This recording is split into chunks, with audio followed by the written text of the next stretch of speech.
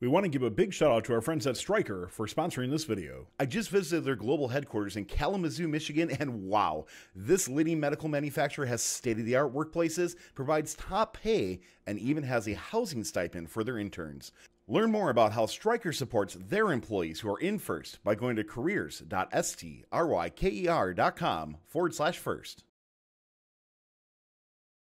Hey, I'm Ben. I'm here with First Updates Now. I'm here with the uh, Illini, Robotics Alumni Association. Thank you. It's a little bit of a mouthful.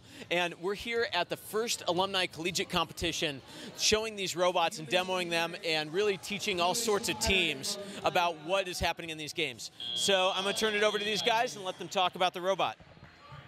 All right, so uh, our goal was really to make a, a, MCC robot, a minimum competitive concept. We wanted something that was simple, that any team could produce, that would still contribute a lot. So our strategic decision then was to focus on low goal and climbing. Uh, climbing being the maximum, the, the, most efficient way to score points, and low goal just to help get the numbers up so you can get the uh, operating console points. So our system is fairly simple. We've got an over-the-bumper intake in the back that uh, just uses some Versa rollers with some um, neoprene rubber over the top.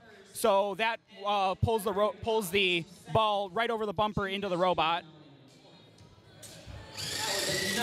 And then our intake system uh, actuates up and down on pistons. So when we're intaking multiple balls, we can run it up and it will it'll hold multiple balls without spitting them out. So we can continue to ru continually run the intake, take in up to five balls, and then when we're ready to score, clamp down on them and outtake into the low goal. Uh, as far as our climb goals, like I said, we wanted to keep it simple. So rather than a hook or something, um, we also wanted to have something that you could have multiple attempts uh, at getting uh, getting clamped onto the bar because a lot of teams have trouble with only having one shot. So our system is just a, a linkage um, on these pneumatic pistons here. So when we actuate it, um, it deploys. It's got a, a, string linkage to raise the second or the second arm of this lift, which gets us up to the height for the bar. Then we can actually drive back and forth, and we can have several attempts to get our hook on the bar before we lift. And then we just have a ratcheting gearbox. Um, this was just something that we had around our shop from last year, but any ratcheting gearbox, I know there's a Versaplanetary stage. There's a few other gearboxes that have ratcheting systems could work in this application. We're just using some cable tie-down straps to lift the robot. Awesome, guys. So, what have you learned throughout this process? What's something that you would do differently on this robot now that you've been through it?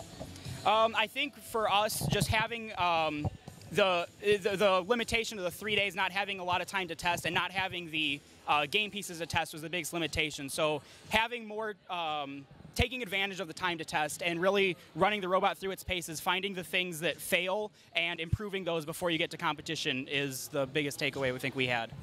Awesome, thanks so much. Anyway, I'm here with the Illini Robotics Alumni Association, and this is at the first alumni collegiate competition showing all the great teams here. Thanks to all of our co-executive producers on Patreon and Tier 2 Plus subscribers on Twitch, keeping fun loud, live, and independent.